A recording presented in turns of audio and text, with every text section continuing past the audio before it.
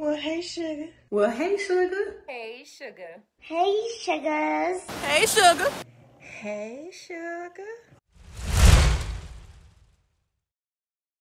Well, hey, sugars.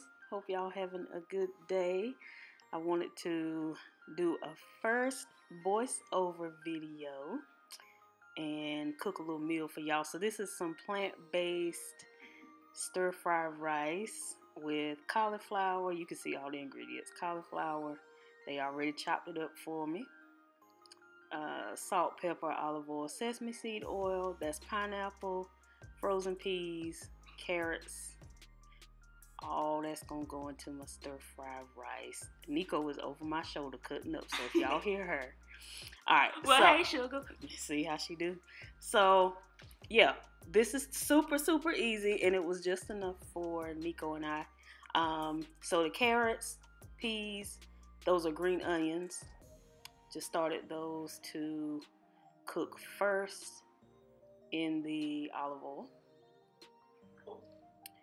and this probably total time took about I don't know 20 minutes if that you can season however you like I just put a little pink salt and the black pepper inside of mine it's really easy y'all really quick if you have a bigger family of course add more. Um, that's uh, garlic, minced garlic. Don't put a lot because your breath will stink for about seven days. So I just put a little bit in there. I wish I had some vegetable um, stock, but I didn't. I would have put that in there. So yeah, we get that going first.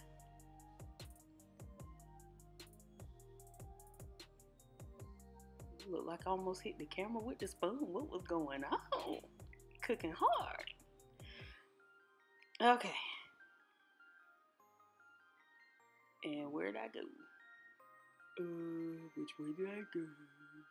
I didn't put my apron on. It's just hanging up on the door back there.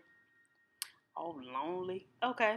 So now I added in the, and I made a whole mess, but it's okay.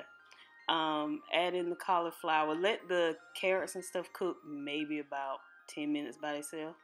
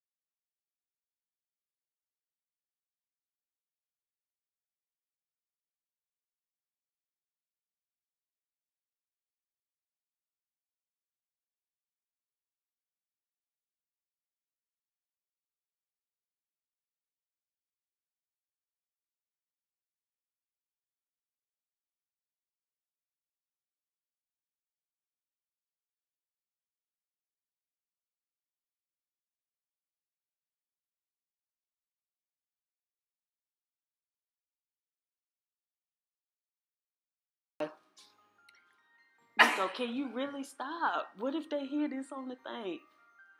Thank you. All right, 15 minutes of that sitting.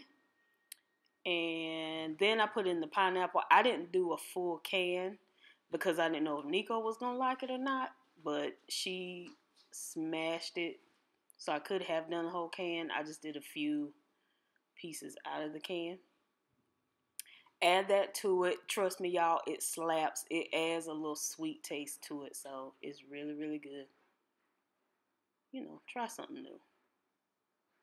And there it is, all nice and done.